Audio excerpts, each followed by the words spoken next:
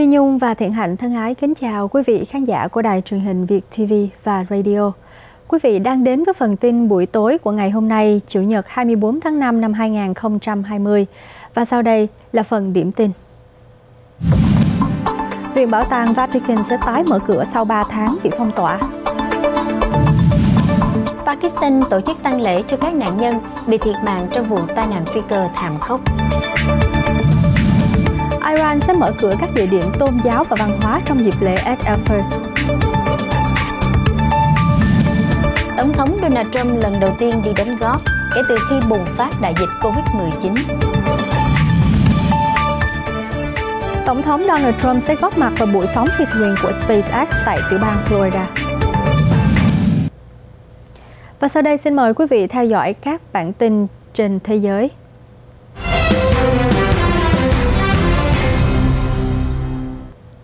Mở đầu cho phần tin thế giới của buổi tối ngày hôm nay là bản tin cho biết Viện Bảo tàng Vatican sẽ tái mở cửa sau 3 tháng bị phong tỏa.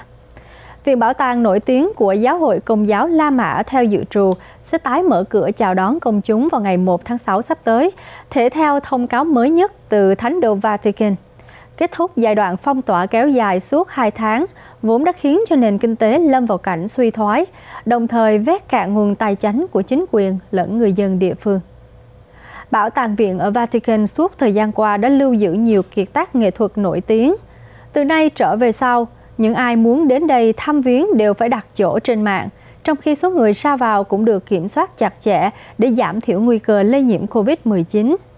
Khi đến nơi, các du khách phải được kiểm tra thân nhiệt, đồng thời được yêu cầu đeo mặt nạ và thường xuyên sử dụng nước khử trùng. Nhiều viện bảo tàng khác ở Ý đã hoạt động trở lại kể từ ngày 18 tháng 5 trong giai đoạn đầu tiên của chính sách mở cửa nền kinh tế. Đã có gần 33.000 người được cho là đã thiệt mạng tại Ý, phần lớn đều tập trung tại tỉnh Lombardy. Trong khi đó, thì Pakistan đã tổ chức tang lễ cho các nạn nhân bị thiệt mạng trong vụ tai nạn phi cơ thảm khốc.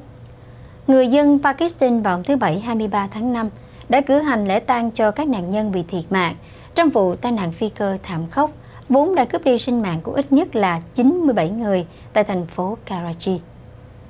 Không có bất kỳ một ai trên mặt đất bị liên lụy vào thời điểm phi cơ rơi xuống nhà dân. Hãng hàng không quốc tế Pakistan viết tắt là PIA cho biết chuyến bay mang số hiệu PK8303 thuộc dòng Airbus A320 đã bất ngờ gặp nạn vào lúc 2 giờ 45 phút chiều khi đang trên không trình từ tỉnh Lahore tới Karachi.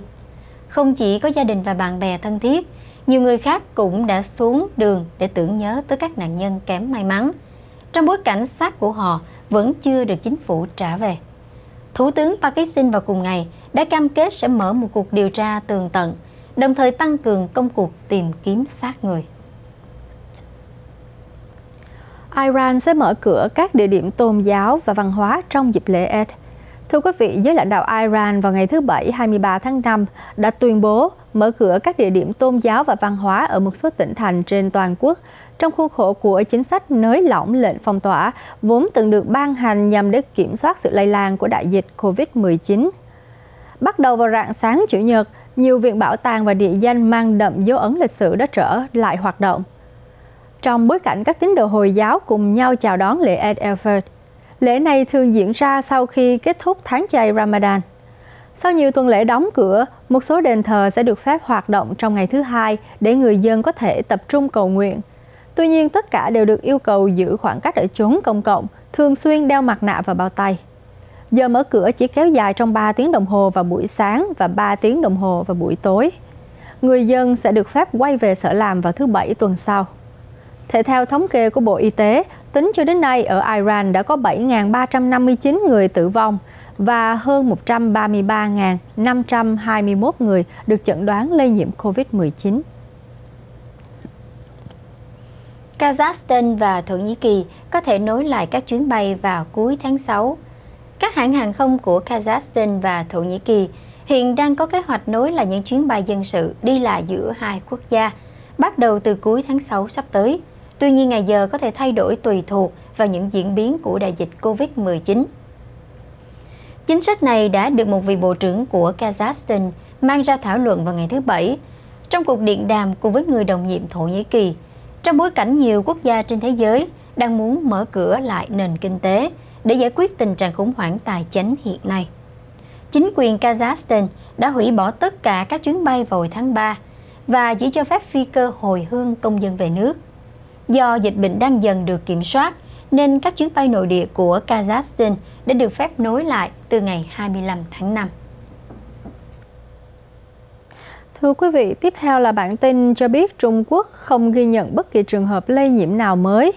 Kể từ ngày 22 tháng 5 cho đến nay, Bộ Y tế của Trung Quốc chưa ghi nhận được bất kỳ trường hợp lây nhiễm coronavirus.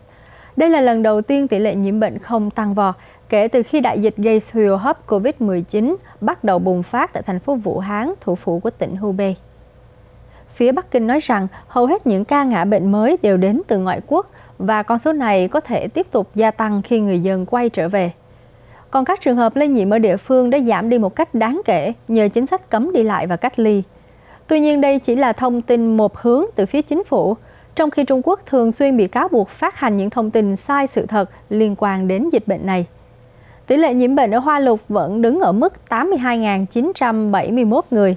4.634 người trong số này đã tử vong. Ổ dịch thứ hai đang bùng phát tại trung tâm giam giữ người nhập cư ở Malaysia. Thưa quý vị, ổ dịch COVID-19 thứ nhì trong vài ngày trở lại đây đã bùng phát bên trong trung tâm giam giữ người nhập cư ở Malaysia. Chỉ tính riêng trong tháng này, chính phủ đã bắt giữ hơn 2.000 di dân lậu. Cuộc sống của họ vô cùng tồi tệ khi phải sống chen chúc nhau trong trại giam kém vệ sinh. Hàng chục người thậm chí còn bị giam chung một chỗ, góp phần tạo cơ hội cho dịch bệnh lây lan. Các tổ chức đấu tranh bảo vệ nhân quyền đã kêu gọi Malaysia kết thúc những cuộc đàn áp cho đến khi đại dịch qua đi. Tính cho đến nay ở Malaysia đã có 7.185 người bị lây nhiễm và 115 người đã qua đời vì Covid-19. 21 trường hợp trong số này được ghi nhận trong trại giam Samaniet gần thủ đô Kuala Lumpur.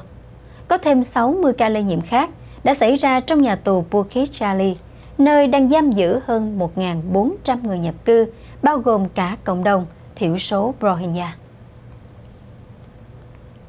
Quý vị vẫn đang theo dõi phần tin buổi tối cùng với Thiện Hạnh và Thi Nhung.